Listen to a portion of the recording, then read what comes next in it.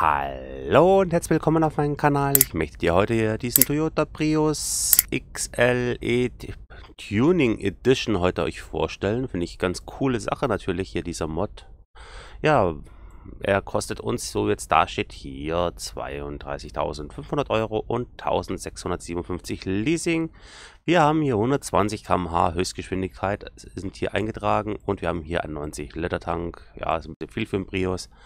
Und wir haben hier 121 PS, entsprechend hier 89 kW. Wir haben hier Farbwahl, wie wir sehen. Da können wir uns hier uns ein bisschen stellen, wie wir gerne möchten.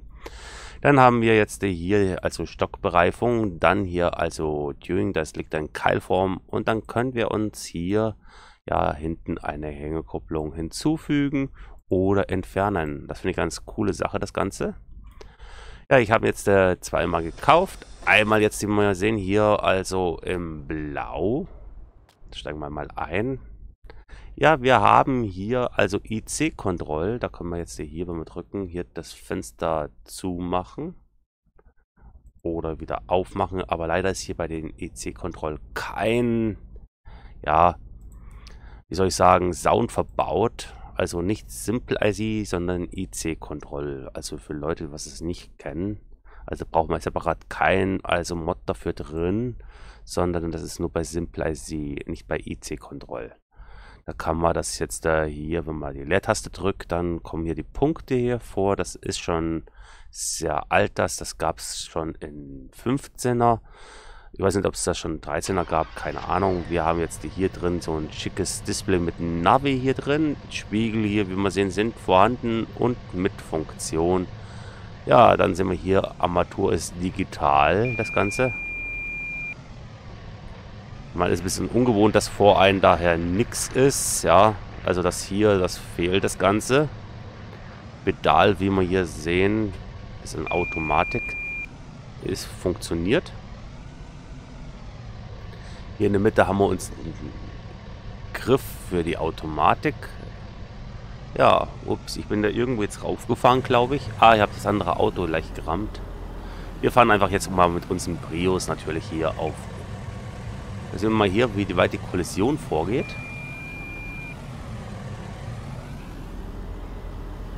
So. So finde ich das Modell ist ganz schön schick. Bisschen blöde finde ich, dass der Standard Pickup-Sound hier drin ist und kein anderer Sound.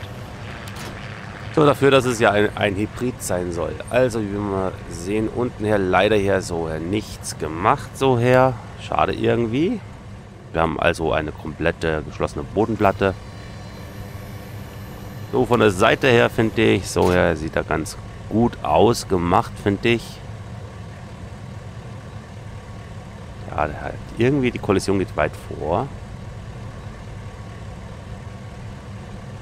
So, jetzt fahren wir mal Retour. Sehen wir hier Rückfahrlicht haben wir. Ja, wir werden auch relativ schnell. Bremslicht sehen wir hier auch funktioniert. Wir machen jetzt einfach hier mal unser Lichttest. Ja, in der Beschreibung steht, er hat irgendwie einen kleinen Fehler. Steht einmal da, das soll irgendwas mit dem Licht zu tun haben. Wir schauen uns das natürlich nachher noch in der Lok an. Haben wir hier das Tagfahrlicht mit keinem Schein vorne. Dann hier das normale Licht, wie wir sehen. Jetzt hier mal die Blinker mal schauen. Da sind wir jetzt hier hinten mit vorne.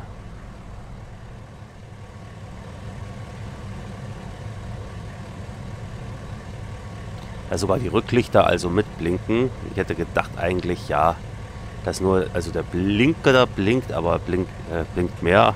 Also wie man sieht, das ist normale Rücklicht. So her. Ich hätte gedacht, dass jetzt nur das, was man jetzt Blinken sieht, blinkt, mitblinkt, sondern Jetzt blinkt ja alles mit. Das ist irgendwie ein bisschen irritierend, weil das macht er allgemein. So, dann jetzt äh, schauen wir mal nochmal rein. Also wir drücken einmal F, zweimal, dreimal, viermal. Mal mit Numbit 5. Numbit 6 haben wir hier vorne unten.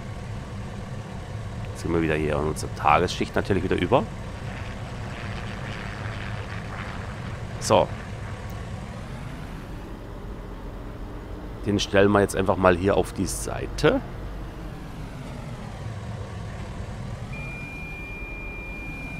Das Piepsen ist ein bisschen sehr laut, finde ich. Möchtet wissen, ob es dann euch wehtut, wenn ihr Kopfhörer aufhaben tut. Tut mir dann wirklich sehr leid. So. Jetzt sehen wir hier, die Reifenspuren funktionieren. So, dann haben wir jetzt hier uns einen Attacher, der funktioniert.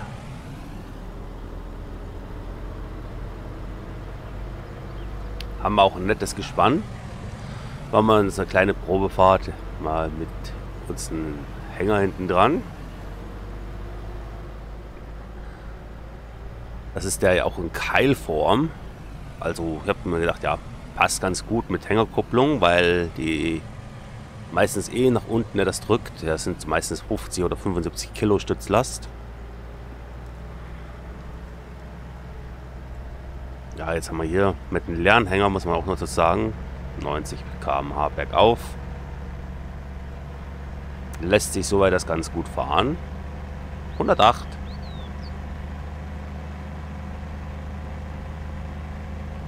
Oder 20. Da ist unsere Höchstgeschwindigkeit. Bremsen, ja, geht ganz gut. Passt auch, soweit das. Und ich würde mal sagen, jetzt schauen wir uns einfach mal die Lok an, was sich der Modder da gemeint hat. So. Steigen wir mal aus, erstmal. So. Von außen, ja, finde ich, sieht also das echt hammermäßig aus. Und jetzt dann natürlich hier zu unserer Lok. Okay, wir haben da Aeros drin, wie wir sehen. Meistens hat das irgendwas mit dem Licht, finde ich, zu tun, wie meine Erfahrung ist. Also, dass ah, ja, auch, dass irgendeine Datei zu groß auch ist, wie wir gerade hier sehen. Das hat schon mal was irgendwie zu tun. So, da steht dann da, ja, das hier, also äh, to Big, die sollte, die ist jetzt jetzt 26.836 KB groß und sollte nur 16.384 groß sein. Also ist eine Datei zu groß. Und ja, und dann haben wir hier diese Aero drin, wie wir sehen. Und ja, es kann meiner Erachtens sein, dass das irgendwas vielleicht mit, also vielleicht das irgendwas mit diesem Tuning zu tun hat. Wir können jetzt dann nochmal reinschauen. So, da haben wir ja das gute Stück. Dann können wir ja schauen. Das hat irgendwas, ja, wie wir sehen, das mit dem Aero. Das hat was mit den Reifen zu tun, mit dem Stock, wie man hier sieht. Also wenn ich den hier klicke, dann geht dieses Aero immer weiter rauf. Und mit der Kupplung eigentlich weniger. Das hat nur was hier mit denen zu tun, wie wir hier sehen. Tja, das war es da so weiters, wo ich so meine Vermutung habe. Wie gesagt, ich bin ja kein Modder. Ich hoffe, euch hat natürlich hier mein Video gefallen. Wenn ja, lasst doch einen Daumen nach oben da. Würde mich natürlich freuen. Hiermit sage ich Dankeschön fürs Zuschauen. Bis zum nächsten Mal. Euer Franz. Ciao, ciao.